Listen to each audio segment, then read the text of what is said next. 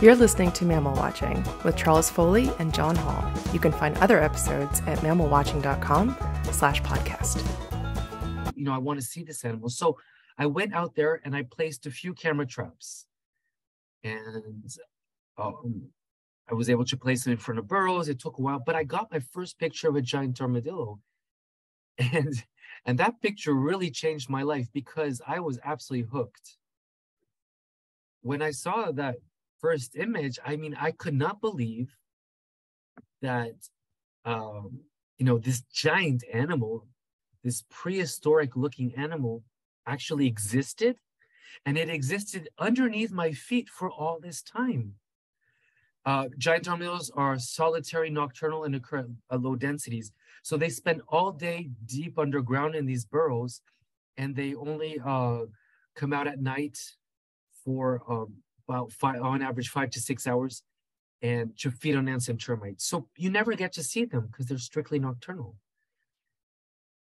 So when we when I first started this the project, you know, I got my first picture of a giant armadillo. At first, I was getting because I, placed the cameras in front of burrows. I was getting lots of images of animals going in and out of the burrows using the burrows.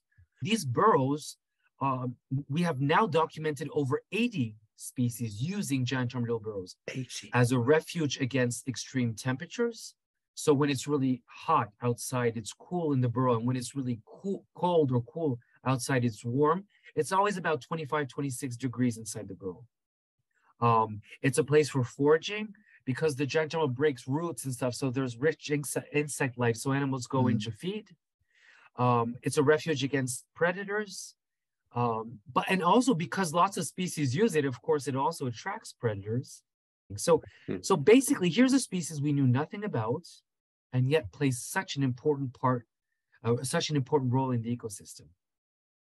But there are some species that are kind of the holy grail, right? But I had to say on the top of my list is the bush dog. Oh, oh wow, you've yes. seen him? I've seen it once in the wild, uh-huh. right? Uh.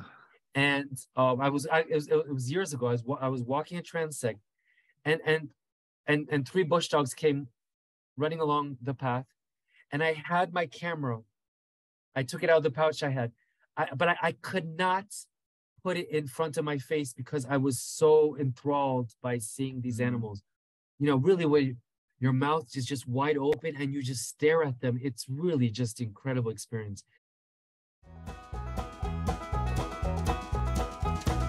If you'd like to listen to the full episode, then visit mammalwatching.com slash podcast.